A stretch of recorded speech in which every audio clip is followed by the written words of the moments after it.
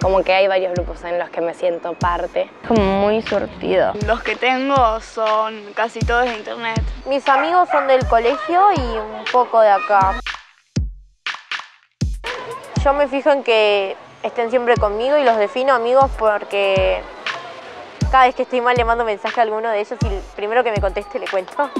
Cuando mis amigas dijeron que les gustaba otra orientación sexual y todo eso, eh, me empecé como a hacer un poco las preguntas de por qué les gustó eso, qué sienten al sentir eso y cuándo se dan cuenta de eso, porque yo creo que nadie tiene fija una orientación sexual.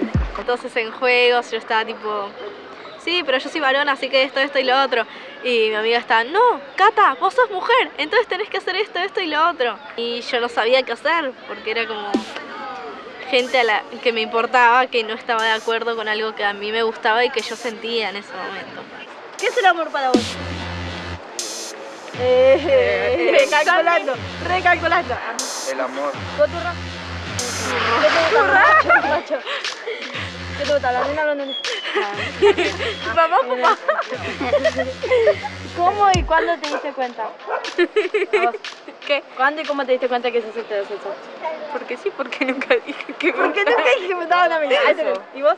En el colegio me pasó que empecé a dejar de ir porque tenía compañeros como que muy LGBT fóbicos, entonces eh, como que no, no sabía cómo iban a reaccionar y pensaba que me iban a dejar de hablar o que no sé si iban a enojar y para evitar todo eso mentía.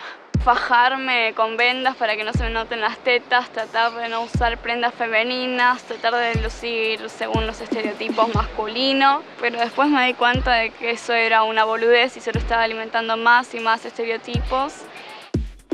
Cuando ya dije en las redes sociales que era trans, me pasó que, que las amistades que fui formando eh, ya era como diferente porque era otro tipo de confianza.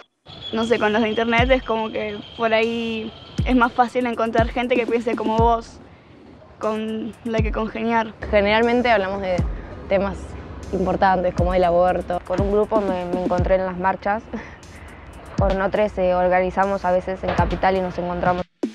Eh, me siento más segura cuando estoy en grupo. Por ahí solo nos encontramos en eventos eh, así de cosas que nos gustan a nosotros como K-pop y es un ambiente que no tiene prejuicios, que, así que sí, nos sentimos seguros al estar juntos, besándonos, abrazándonos.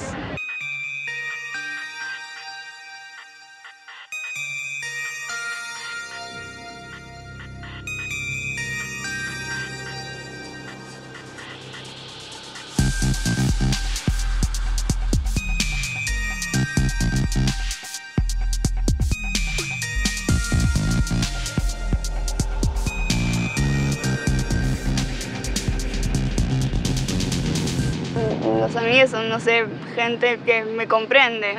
Yo tipo tengo amor con amigues, puedo tal vez como estudiar un poco más. Reímos juntos, compartimos momentos. La confianza, la comprensión que podemos tener. Para mí ella es todo. Es mi hermana, mi prima, es todo. Me la sacas a ella y me sacas a mí.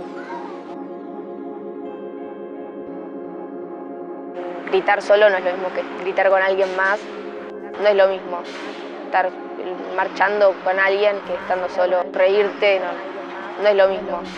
No es lo mismo. No es lo mismo. No es lo mismo.